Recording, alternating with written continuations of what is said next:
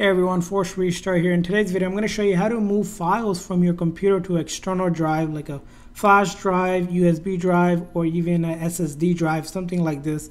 You can follow these steps to do it. So let's get started. So I'm going to use a flash drive, but basically it'll work if you have external SSD as well or any kind of drive. First thing is about connecting it. So USB drives like this one can easily connect uh, depending on what do you have. You're going to look for the USB on the side of the computer, your left side or right side, or if you have a, a USB-C, you can also do that. And when you do that, you're gonna see a flash drive or external drive connected.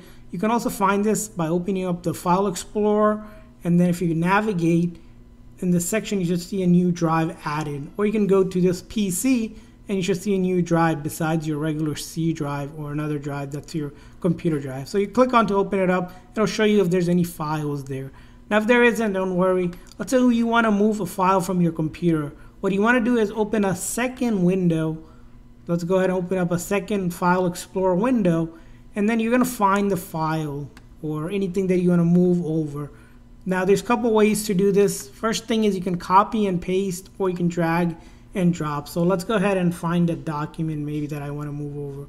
So if I want to move over the screen config, right, all I can do is press and hold on my keyboard and then drag it over.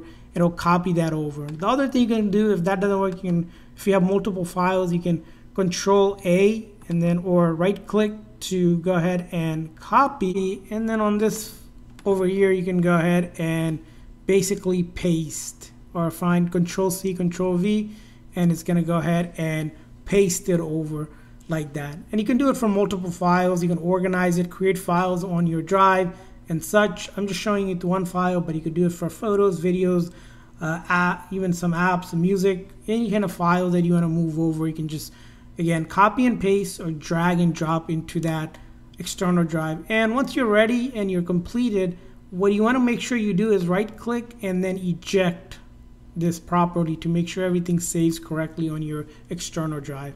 And that's all you need to know, do.